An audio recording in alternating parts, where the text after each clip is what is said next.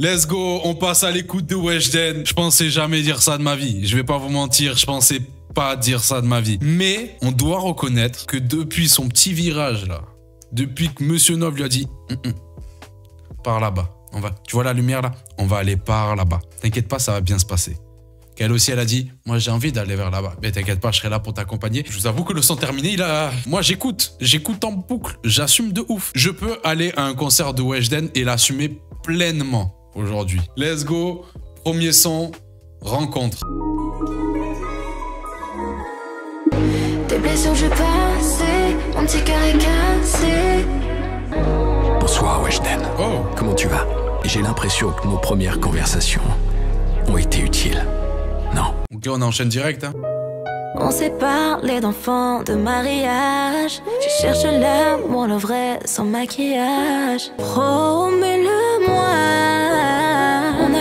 Des mais tournons la page. Promets-moi d'être l'homme que je cherche depuis tant d'années. Let's go Monsieur Nov dans la maison Ouais, je bande de détraquer dans le chat, là Arrêtez de vous battre Eh, vraiment, ça lui va trop bien. Ça lui va trop bien. Elle était faite pour cette merde. Vraiment. À l'intro, je vous avoue, c'était un peu timide. Tu vois, en plus, il y avait beaucoup de corrections dans la voix. Elle était doublée avec pitch un peu plus euh, grave, de la distorsion, etc.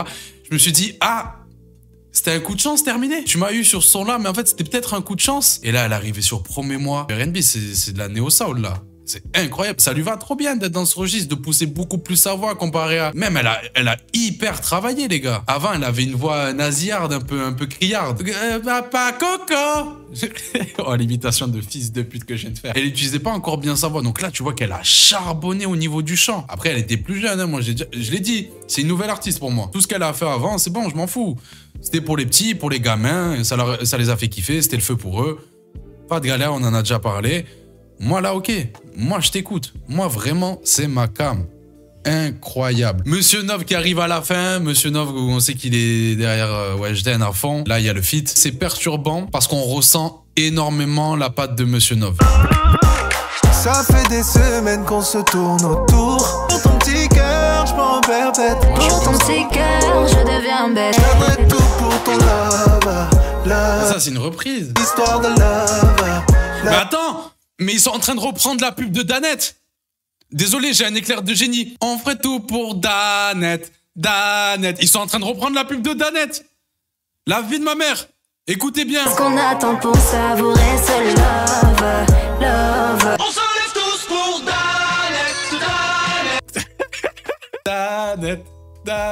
Je vais pas vous mentir, la reprise de Danette, ça a un peu cassé un truc. J'aimais bien ce moment où j'étais innocent. J'aimais bien en mode, ah, c'est sympa, ça a une ambiance un peu chaleureuse que je connais. Je sais pas d'où, mais ça a un peu cassé un truc. Euh, Vous pensez qu'il y a des droits voisins, du coup, de, de- du mec qui a produit le son pour Danette sur le son? Tu penses qu'il y a eu des galères de droits ou pas? Ah, ça me fume. En vrai, ça passe bien. Ils ont repris Danette, ça passe bien quand même. Je suis un peu plus mitigé dans le sens où, pour moi, les, les vagues RB bien cheap des années 2000, 90-2000, je suis complètement corda avec ce move sur, le fait que la France a envie de ça. On a envie de ce renouveau, on a envie que ça revienne.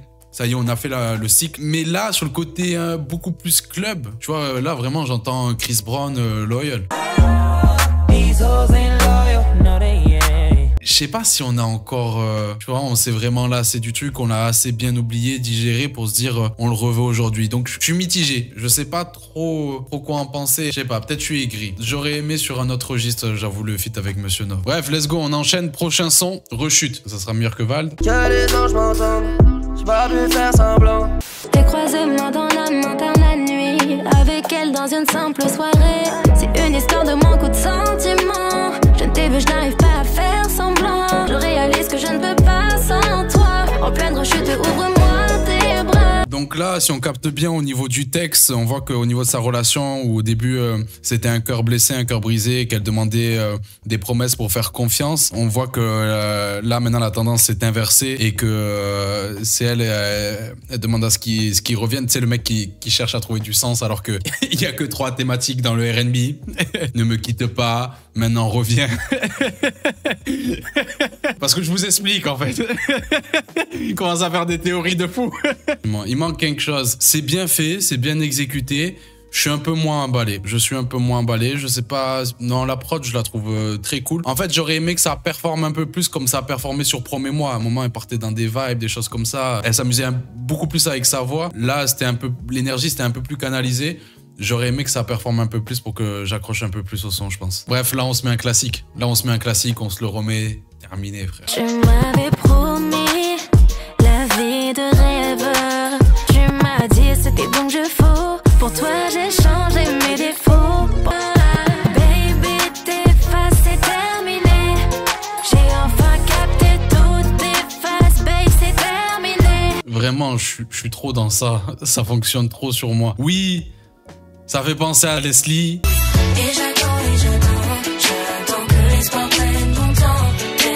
Mais je pense, j'ai une théorie. Pour moi, si t'étais assez grand à cette période, assez conscient de cette période où il y avait ces petites vibes R&B où ça avait une petite place en France mais pas énorme. Aujourd'hui, le réentendre ce genre de bail parce que clairement on, on est en plein dedans. Il y a, il y a rien de nouveau.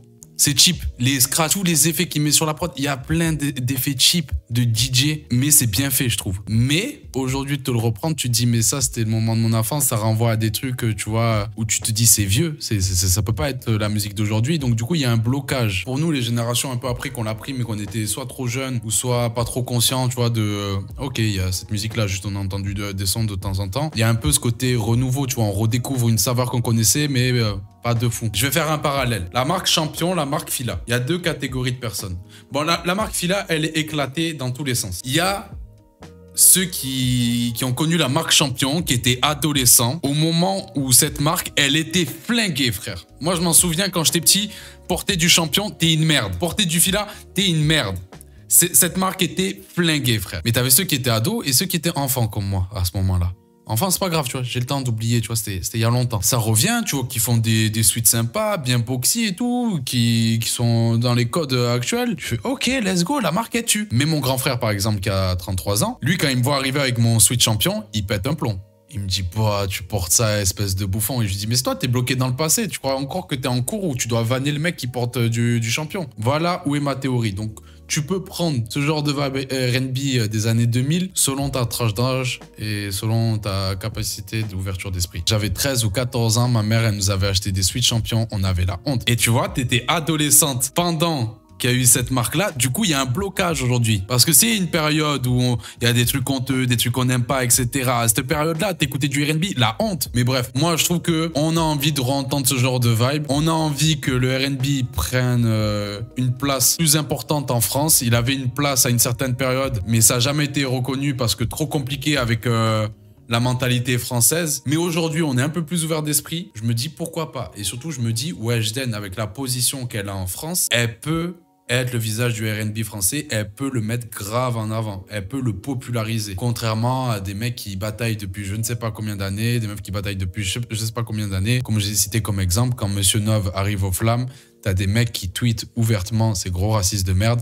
C'est qui ce chinois? Et là, tu te dis, il y a un problème. Prochain son, comme avant, Weshden Dajou. Je vous avoue que je suis pas un client de Dajou. Oh, oh, ah Tu dis que j'ai tout cassé, notre affaire est classée. Tu me dis va-t'en. Je reste à tes côtés. Bébé, je ton poison quand ton médicament. Laisse-nous tout recommencer, recommencer. Un amour effacé, je t'ai plus dans la poitrine maintenant. Let's go. Elle a fait le oh oh ah. Euh, Weshden a sauvé le son. Clairement. C'est compliqué pour moi de donner un avis. J'ai un blocage avec Dajou, je pense. J'ai un blocage. Il y a quelques sons hein, que j'ai bien aimé de lui. En vrai, euh, je vais t'élever au rang de reine, là, ce son-là. T'es un mytho si tu dis que tu t'es pas pris ce son-là. T'es un mytho, tu vois, je suis obligé de l'avouer. Mais j'ai un blocage. Je me suis jamais pris euh, sa musique. Ils ont voulu tenter Inaramo sur le refrain, la voix doublée, celle de Dajou et celle de Weshden. Dans l'idée, moi, je suis complètement pour. Je kiffe quand il y a des armons. Taiki, il en fait beaucoup. Tiakola, il en fait énormément. Il fait même que ça, quasiment Tiakola. Il fait que des armons. Mais là, ce que j'ai trouvé dommage, c'est que euh, c'est- en fast flow. C'est assez plat. La ligne mélodique, elle est assez plate au final. Tu vois, il y a une petite envolée à un moment, mais au final, c'est assez linéaire. Et je trouve que ça casse le délire de l'armo, justement. Si tu fais des armos, c'est que c'est aéré. c'est que ça, ça respire pour moi. Et quand tu fais des armos, pour moi, c'est pour pousser encore plus loin ton envolé, pousser encore plus loin ta mélo, tu vois, lui donner du corps. Il y a des chances que le son pète parce qu'il y a Dajou. Ça va stream, en tout cas. Je sais pas, c'est compliqué de dire est-ce que ça va être un hit, je sais pas. Mais ça va stream. Prochain son, Danger Love. En vrai, J'aimerais bien qu'elle fasse un son euh, hyper sad, juste pour l'expérience, pour voir. Je de ceux qui disent lui c'est mort plus jamais. Pour après le texte encore. Chercher y'a pas plus néfaste que. Tes nanas c'est pas des lol. Sur mon fan ton glace c'est danger love. Bon, J'ai vu que vous avez beaucoup parlé des, des adlibs, des bacs derrière. Alors les bacs de détraqués là, les... Ouais. Bah. il y a un moment, il bug, frère. c'est euh, doit être filé. Bon, en vrai, hormis euh, cet écart de route là, ce pneu crevé, c'est lourd de fou ce qu'il fait. Mais c'est lui qui fait euh, toutes les adlibs derrière. Je trouve ça très cool d'inviter un artiste. C'est des moves que, j'aime beaucoup, moi, quand t'amènes un artiste juste pour qu'il fasse des adlibs. Dernière référence que j'ai en tête où euh, on a fait ça, c'est euh, Nekfeu euh, surchargé quand il ramène Niska et Niska qui est le boss des adlibs et qui carry le son en fait juste par les adlibs. Sinon, le son aurait été mythe de fou. Mais Niska donne tellement d'énergie. Voyage léger, reviens lourdement chargé. Ma copine est lourdement chargée. Mon équipe Au début, je trouve ça pas ouf. Toutes les adlibs qu'il va faire en fait grave là où il fait des uh -huh, des trucs comme ça. Par contre, quand il accompagne sur des armos, des trucs comme ça, qui fait des petites vibes derrière et tout, ça je trouve ça chaud. Et j'aurais aimé que ça soit ça sur tout, le- euh, tout le long du son. Je pense que c'est mon deuxième son préféré de l'EP. Petite rythmique afro, très smooth dans la prod, limite à- sur de la mélancolie. C'est ma cam. C'est ce qui me parle. Tu vois, justement, on parlait des armos avant qui ont pas matché avec Dajou et, euh, Weshden. Là, les armos entre Joey euh, et euh, Weshden fonctionnent super bien. Même le refrain, tu sais, où elle prend, elle fait la montée. Incroyable. La montée est folle. En fait, Vraiment, sur tous les sons qu'on a écoutés, je constate que les sons où je l'apprécie le plus, c'est quand elle performe. Tu vois, Dajou, ah, ça me parle un peu moins parce que c'est un peu plus plat, un peu plus linéaire. Vraiment, je veux qu'elle envoie. C'est là où je trouve qu'elle libère vraiment sa voix. Bref, prochain son, le feu.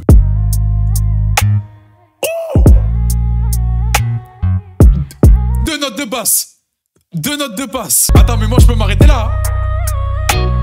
Incroyable. Oh, let's go. Appelle-moi quand tu peux. T'es bien trop loin de mes yeux. On pull up, on remet. Je veux reprendre ce miel, frère. Envoie. Avec toi, c'est le feu quand on joue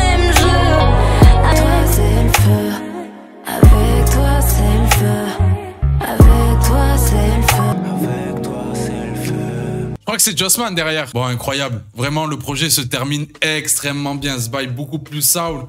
Incroyable. En plus, un son, t'as capté, t'as capté. La dernière fois, j'expliquais que, euh, que les musiques qui, euh, parlent de, euh, de trucs chaleureux, je trouve que c'est la meilleure musique du monde. Et là, on est en plein dedans. Oui, c'est nié, mais c'est pas nié dans l'interprétation. Moi, je peux pas, en fait, quand la musique directement à l'oreille, elle sonne niaise. Que les paroles soient niaises, ça, ça me dérange pas. Au contraire, je peux, trou- je peux trouver un côté attachant, je peux trouver un côté attendrissant dans des paroles niaises. Par exemple, Runa a des paroles qui sont très niaises à des moments. Mais c'est là où je le trouve fort, justement, de comment il amène, comment il interprète. Je t'aime comme tu étais, je t'aime comme tu sors, pendant que tu ne m'aimes pas comme je suis. Je t'aimais, je t'aime et je t'aimerai. Hyper niais comme façon de le dire. Sa façon de l'amener, c'est fort. Oui, si tu prends le truc isolé, c'est mal écrit. Mais de sa façon de l'amener, c'est fort. Là, pour moi, c'est bien amené. Un autre défaut, ce qui est un peu dommage, c'est que des fois, à des moments depuis le début du projet, on sent Melodyne. On sent Melodyne, mais c'est vraiment pour aller chercher un petit défaut. Si je peux donner un autre défaut, et je pense qu'on va se rejoindre, c'est dans le sens où il y a un côté déjà vu. Faut pas se mentir. Ce qui fait que j'apprécie un peu plus, c'est que je m'attendais pas à ça de Weshden. Et donc, du coup, ça rajoute un truc. Le move de ramener des, autres intervenants pour faire euh, les ambiances, etc., je trouve que c'est vraiment un très bon move. Déjà, musicalement, Jossman qui fait euh, les petites adlibs et qui termine le morceau, je trouve ça très cool, comme juste avant avec Joy Doit Filet. euh, je trouve ça très très cool. Et en plus, si j'ai envie de faire mon côté marketeux, sais pas trop ce que j'aime faire, mais c'est bien aussi parce qu'on sait qu'elle peut souffrir d'une certaine image, Weshden, et de voir que tel artiste, etc., la valide, ça peut redorer son image. Et donc, euh, c'est cool, en vrai, si ça peut permettre ça. J'ai pas précisé, mais tout le projet est produit par Zekpi. J'ai vu qu'il y avait Sizi aussi, à des moments sur des prods. Franchement, je suis très étonné. Je vous avoue que moi, Zekpi, c'est vraiment pas ma cam. Alors, on peut pas lui enlever ses qualités. Il a des hits de ouf. Mais moi, par exemple, ce qu'il a fait euh, sur Quello, là, avec ses cuivres éclatés, ah, vraiment, j'étais là, je fais, vas-y, arrête, frère, arrête. Mais là, bizarrement, dans ce registre-là, je trouve qu'il se débrouille très bien. Et même Sizi, pour moi, ça faisait partie des producteurs un peu oubliés. Que c'était, ouais, c'était bien une époque, tu vois, quand t'es arrivé avec Vald, mais non, en fait, t'es lège, frérot. Et pour ce qu'il a fait, il est surterminé, par exemple. Franchement, on peut rien dire. Je dois te filer après la prod, apparemment. Il est crédité sur la prod, ouais. T'es gris T'es gris T'es merde Oui, il y a Monsieur Nov derrière le projet. Oui, il y a Monsieur Nov derrière le projet. Oui, on l'entend beaucoup. Mais les artistes peuvent aussi être que des interprètes. Deuxièmement, Jossman est sur le projet. Joe doit être filé sur le projet. C'est des artistes qui ont travaillé avec Monsieur Nov, donc forcément, ça facilite les, euh, relations, ça facilite les contacts. On est d'accord. Mais est-ce que tu penses qu'ils acceptent seulement parce que ah Monsieur Nov c'est mon gars. Non, c'est qu'à un moment donné il valide le move. À un moment donné, moi je veux croire que les artistes ils disent non. Non mais c'est ça que je voulais dire. Ça facilite le contact. T'as mieux les mots, c'est tout. Ouais, ouais, ouais, ouais, ouais. T'es gris On s'écoute l'outro.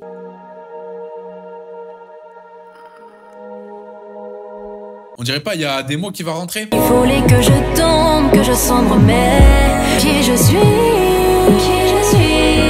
ces heures de réflexion sur qui tu es, qui tu veux être, ont été utiles. Tu peux être fier de toi. Tu es celle que tu voulais être. Ok. Ouais, c'est une petite ou trop. Je veux devenir celui que j'aurais dû être. Ils espèrent baiser. Moi, je veux devenir ce que j'aurais dû être. Je pense que c'est mieux que ça soit une courte ou trop et que ça se finisse par un dialogue. Ça reprend le, le dialogue du début. Et franchement, c'est un très bon EP.